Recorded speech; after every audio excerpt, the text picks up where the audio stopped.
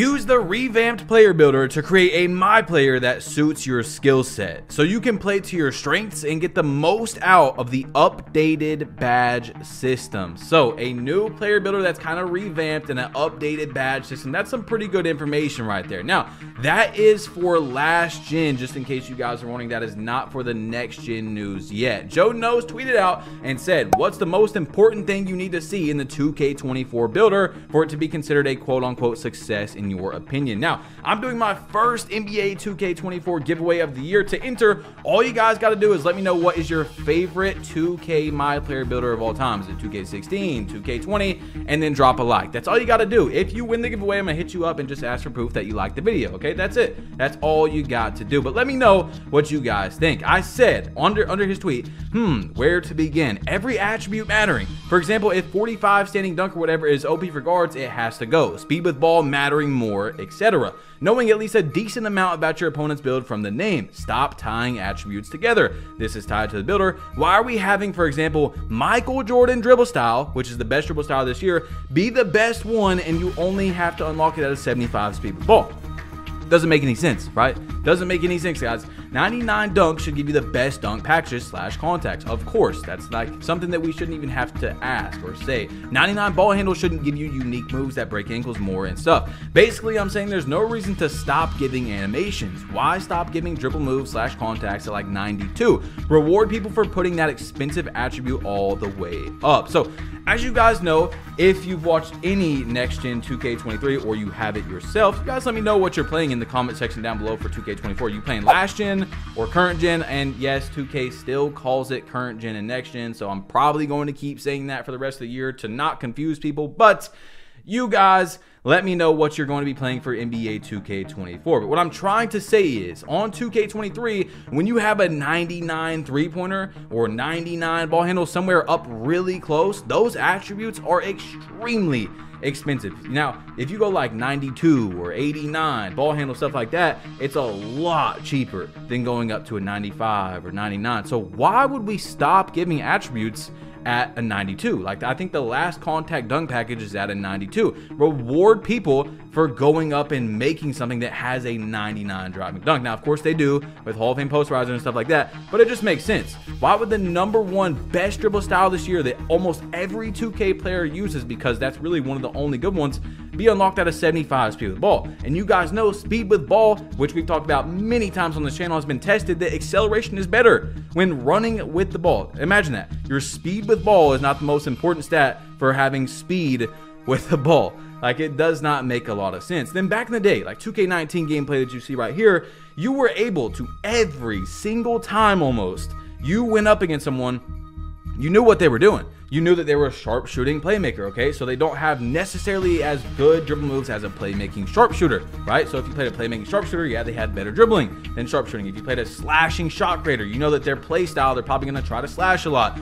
Then when they start hitting a few shots, they're gonna be in the middies, hitting fadeaway middies, you know, because one of my favorite builds was my shot creating slasher in 2K19. But you guys see what I'm saying? There's a lot of things that have been taken out of the game, like leaderboards, for example, that makes no sense why they're gone. Like literally no sense. Why is leaderboards gone? I used to be able to see my rank not only in my affiliation but all across 2K, across all the affiliations. There was two different ranks. If you guys uh, don't know, or you forgot, like if you didn't play the old 2Ks. Anyway, Solo said, I hope that in 2K24, there's a change to either the quick drops off one dunk package or the limitless takeoff badge because it was way too OP in 2K23. Now, this is what Joe knows. I'm trying to get auction, guys. You know, I got you, bro. I'm trying to give you all the information as fast as possible. This is what Joe knows mainly talked about in his video. The gameplay goes with the builder. 2K18 and 2K19 had very similar builders, yet no one ever says they want the 2K18 builder back because it didn't necessarily go with the gameplay. You see what I'm saying? So what he's talking about is like, why would you get quick drops at an 80 driving dunk. That's the best dunk package. You only need quick drops, as you guys know. You only need them. Now, of course, if you're playing bad people and you can just stand under the rim and you know protect the paint, quick drop quick drops aren't bad, right? I see some people say that quick drops aren't bad, guys. It's actually insane.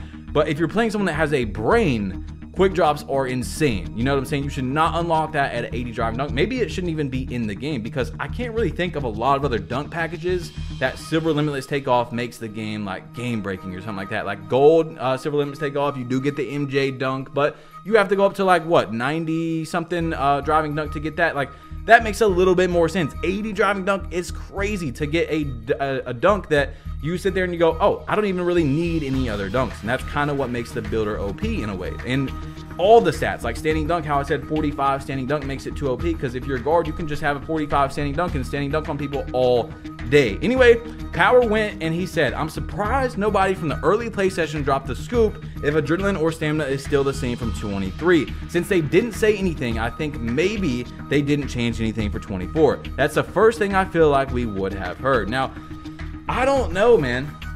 As you guys know, Duke Dennis played the game early. I didn't see a lot of other creators there. Like, I think iPod King Carter may have went to that event because he did post a picture on Twitter, but he hasn't said anything about it besides that, I believe. But I don't know if Adrenaline's back in the game or not. And I'm going to tell you guys right now that I highly believe 2K releases these screenshots themselves. Like, I think we're going to talk about it more in the next video. I'll get into it, but I really think that they do it themselves. I don't know. Anyway, Solo said, I hope Duke Dennis gave Mike Wang some good advice on 2K24 when he tested it. I think pre-launch Mike Wang is genuinely trying to take feedback from others and make positive change. So, a creator hit me up today and said that he believes that a lot of people that talked bad about 2K this year, you know how I'm just honest, guys. My, my soul's not locked up in Ronnie 2K's basement. And I'm really glad that you guys appreciate that as well because I sleep better at night knowing I did the best I can to give my opinion to make the game I love better or try to make it better. But what I'm saying is,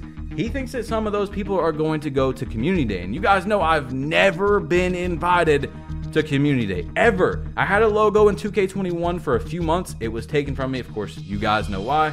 Talking out, speaking out about the game.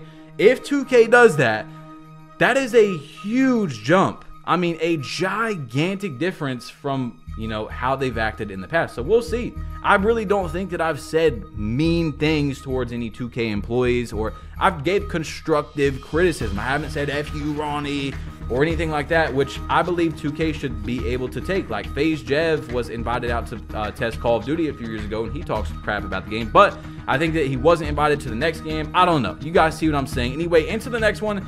If you guys didn't see, 2K on uh, YouTube posted a Jetpack 2K24. That was the title for their video, Jetpack 2K24. It was Josh Giddey saying that, you know, 2K24 has crossplay. If you guys haven't seen that by now, you're living under a rock. They have said it a million times, but the title was Jetpack NBA 2K23. Of course, Josh Giddey was on a jetpack. So, Jetpack, for you guys that care, will most likely be in 2K24. But once again, just like we've talked about so many times, if they bring back things, they have to do them correctly. The jetpack was again not done correctly. And that's something that we went into multiple times, like how you can't take it really into the stage, you can't play with it, things like that. It's just the little things that 2K just kind of seems to forget about. And then people go, oh, what are you talking about? You guys got exactly what you wanted. Now you're complaining. Like, that's like crossplay not working for the first month and people being like, you got what you wanted and now you're complaining. Like, yeah, we got crossplay, but it doesn't work. It needs to work. Now, 2K, that's up to them to make their servers good, but we can't make excuses and be like, oh, the game doesn't need crossplay because 2K won't fix their servers. They need to do both.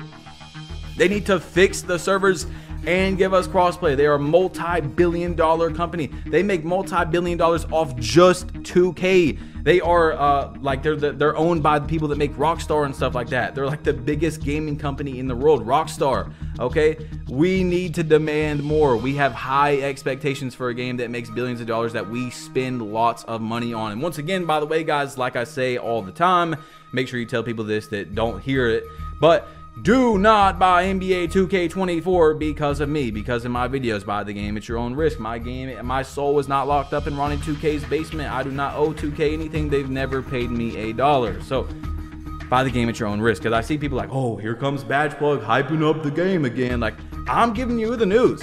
Yes, sometimes I'm excited because this is my job because I've played 2K. Even if it wasn't my job, I would still play 2K. Doesn't mean I'm trying to get you to buy the game or hyping it up at all. Buy the game at your own risk, okay? Anyway, Double H went to Twitter and he said, What at NBA 2K20 or 2K should really do now is completely disband the current affiliations and make it PlayStation versus Xbox. Now, that would be a fun rivalry if they did it right with their own parks, icons, and events. So I'm really, really excited to see what 2K has planned for crossplay. Are we going to be in affiliations again and you're side by side with someone and it has their logo on it like Xbox or PlayStation? Is it going to be like their own affiliations? Like you go to the PlayStation affiliation, you know, that would be really cool, bro. Going to the PlayStation affiliation to beat them or if you're a PlayStation Xbox player, you know, going to the Xbox affiliation to play them. Maybe you get like more level over there or something. I don't know.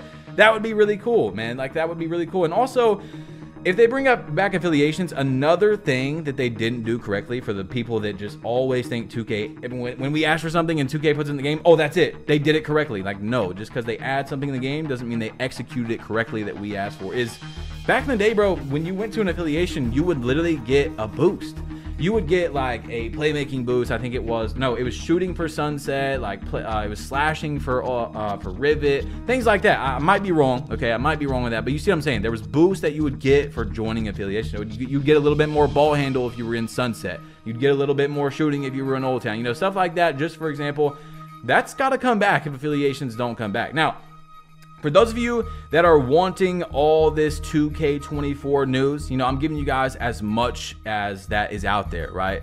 This is what it looked like last year. So August 31st, special guest. September 5th was the Jordan Challenge. And September 1st, we got the my, some my career news. September 6th, player ratings.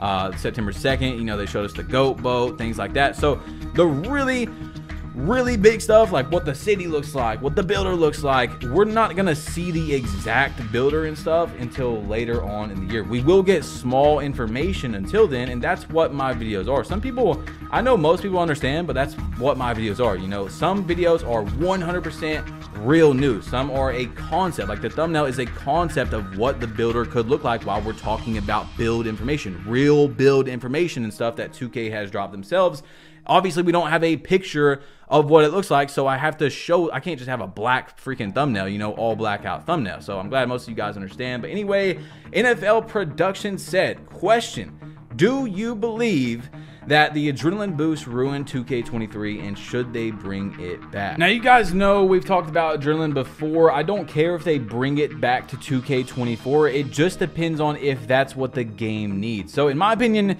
2K23 needed adrenaline boost because that's how the game was created. You guys know how you're able to speed boost out of the same hand, and you can speed boost out of the same hand again without doing any dribble moves. You know, like that's kind of OP. So imagine if there was no adrenaline boost. You'd just be able to run out the same hand, run out the same hand over and over and over, and then you'd be able to, you know, left riding would be worse probably in 23 than in 22. So I think that it was needed for 2K23, but it doesn't necessarily mean it was need it's needed for 2K24. Now, because you guys are so awesome and you made it this far, I got more build news for you. So, Jumpman Germ said, NBA 2K24 My Career slash Player Builder System details will start in August. On their Discord, they said, can't talk about that just yet. We'll reveal more gameplay details around NBA 2K24 starting in August. Keep an eye on the 2K news and make sure you select all news, blah, blah, blah, blah. So what's interesting is, as you guys seen in the beginning, we've already got some 2K24 builder news, which I don't believe we had last year. Now, that was only for last gen, but we do have some information on that. So when that comes out,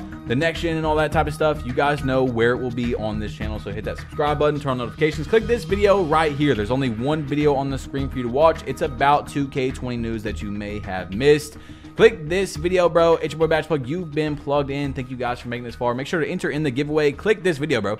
Click it, and I'm out. Peace.